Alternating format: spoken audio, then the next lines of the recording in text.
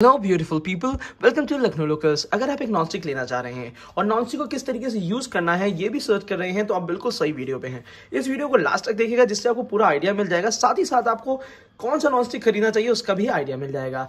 आज हम आपके लिए लेकर आए हैं प्रेस्टीज की तरफ़ से उसका ओमेगा डीलक्स ग्रेनाइट सेट हाँ जी, ये वाला एक ऐसा ग्रेनाइट सेट है नॉन स्टिक सेट है, जो कि हमें थ्री पीस के साथ मिलता है और इसकी जो नॉन स्टिक होती है, बाकी नॉर्मल नॉन स्टिक से थोड़ा सा अलग होता है।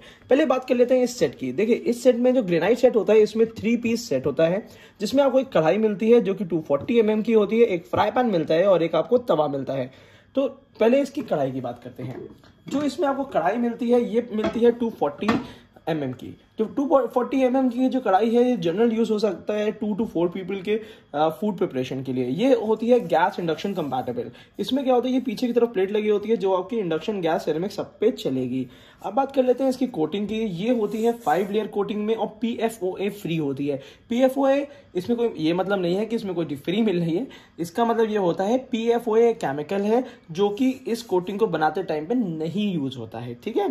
उसके बाद हम बात कर लेते हैं कि इसकी जो कोटिंग होती है, पूरी तरीके से नॉन स्टिक होती है और एक बहुत ही बेहतरीन चीज़ मिल जाती है कि कंपनी कहती है, इसमें आप स्टील का स्पैचुला चला सकते हैं। उसकी भी बात अभी हम आगे करेंगे वीडियो में। पहले इसको साइड में रखते हैं, फिर बात करते हैं इसके फ्राई पैन की। फ्राई पैन जो होता है, वो भी 240 फोर्टी mm का मिलता है आपको, जो कि ग्रेनाइट फिनिश के साथ ही साथ है। और इसमें आपको ये चीज़ ध्यान रखनी है कि जितनी भी चीज़ें आप फास्ट कुकिंग प्रिपेयर करते हैं तो वो उसके लिए ये यूटेंसिल्स बहुत परफेक्ट होते हैं।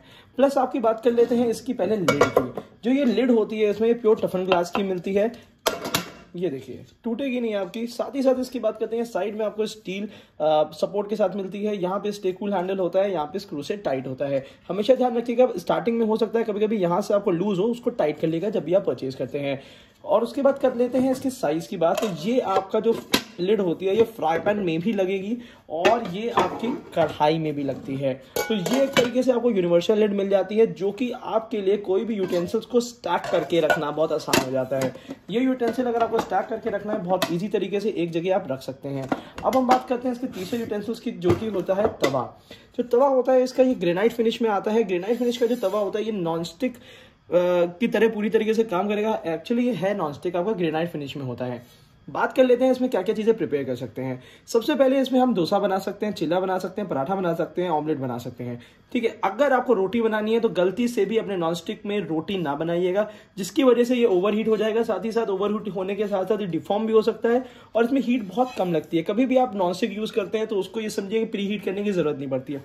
जब भी आपका मटेरियल रेडी हो, आप नॉनस्टिक को तुरंत लगाइए, तुरंत वो हीट अप होगा, उसको यूज़ करके।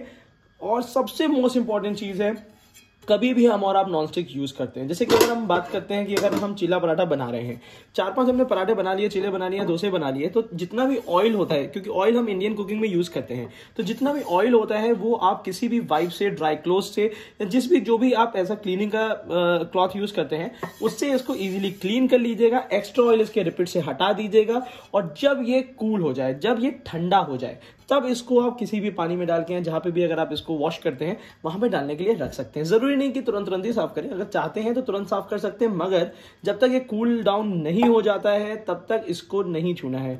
गर्म गर्म तवा हम पानी में डाल देते हैं, जो सबसे बड़ी गलती करते हैं, जिसकी वजह से हीट शॉक कोल्ड शॉक की वजह से इसकी कोटिंग खराब होती है। पहला रीजन ये होता है कोटिंग खराब होने का कि हम हीट शॉक या कोल्ड शॉक देते हैं। हीट शॉक कोल्ड शॉक अगर नहीं समझ में आ रहा तो बता देता हूँ, जैसे गर्म तवा है, आपने ठंडे पानी में डाल दिया। तो ये गलती ना करिएगा। और दूसरी चीज़ होती है कि इसमें हम जो भी चीज़ प्रिपेयर करते हैं, जैसे कि इसमें तो चलिए जोसा चिल्ला पराठा हम हटा लेंगे, उसके जितना ऑयल है हम पोछ लेंगे। अब हम बात करते हैं कढ़ाई की। अगर हम कढ़ाई की बात करते हैं तो इसमें अगर जैसे भी हम कोई भी चीज़ प्रिपेयर करते हैं तो ये होता है कि इसमें हम स्टैक करके रख मतलब इसमें हम ऐसे इस तरीके से रख देते हैं, उसके, इसके अंदर फ़ूड मटेरियल बना रहता है। तो नॉन स्टिक यूज़ करते टाइम पे हमेशा ध्यान रखिए कि जिस भी यूटेंसिल्स पे आप कुक करते हैं, उसमें आप रखिए नहीं उसको। उसको किसी और, आप यूटेंसिल्स में हटा लीजिए तुरंत तुरंत जब भी आपकी कुकिंग हो जाती है, इसको आप किसी भी सर्विंग बोल में, जिसमें भी आप चीज़ें सर्व करते हैं या रखते हैं स्टोर करके रखते हैं तो उसमें इसको हटा लीजिए। प्लस तुरंत तुरंत गरम गरम में ये किसी भी ड्राई क्लोथ से इसको क्लीन कर लीजिए। स्पेशली इसके रिपिट्स की तरफ़ क्लीन करिएगा। और क्लीन करने के बाद इसको ठंडे होने के लिए रख दीजिए। जब ये ठंडा हो जाए तो इजीली कभी भी आप आप अगर वॉश करते हैं, आप खुद वॉश कर लीजिए। नहीं तो अगर आपका मेड वॉश करती है तो उनके लिए रख दीजिएगा। इस चीज़ का हमेशा ध्यान रखिएगा कि कभी भी आपको इसमें फ़ूड मटेरियल बहुत देर तक नहीं रखना होता है, क्योंकि जितनी देर तक इसके अंदर ऑयल रहेगा, उतनी कम इसकी लाइफ रहेगी। प्लस सबसे इंपॉर्टेंट चीज़ होती है, ये वाली जो कोटिंग होती है, सबसे ज़्यादा बेहतर लगती है मुझे, क्योंकि याली कोटिंग आपकी फाइव लेयर की होती है और स्टील स्पैचुला इसमें चला सकते हैं। हाँ जी मगर स्टील स्पैचुला कौन सा चला सकते हैं इसमें आप? स्टील स्पैचुला वो चला सकते हैं जो कि राउंडेड कॉर्नर्स होते हैं। हाँ जी ये कभी नहीं बताता है कोई कि इसमें कौन सा स्टील स्पैचुला चलेगा। जनरली क्या होता है अगर आप नॉनस्टिक यूज़ कर रहे हैं और उसमें आपको स्टील का स्पैचुला चलाना है तो आप इसमें राउंडेड कॉर्नर्स का स्टील स्पैचुला बहुत इजीली चला सकते हैं। बहुत ज़्यादा आपको आ, मतलब रफली यूज़ नहीं करना चाहिए। प्लस इसके अदर ऑप्शन भी हो सकते हैं। वुडन स्पैचुला अगर आपके पास है तो आप कर सकते हैं। वैसे सेट के साथ नहीं मिलता है। अब बात करते हैं इसकी प्राइसिंग अगर ये आपको पसंद आता है तो ये इस समय आ रहा है three thousand six hundred and eighty का। जनरली इसकी ये नई प्राइसिंग है, इससे पहले थ्री थाउज़ेंड फाइव हंड्रेड का था बट इसमें अच्छा खासा डिस्काउंट आपको मिल जाएगा।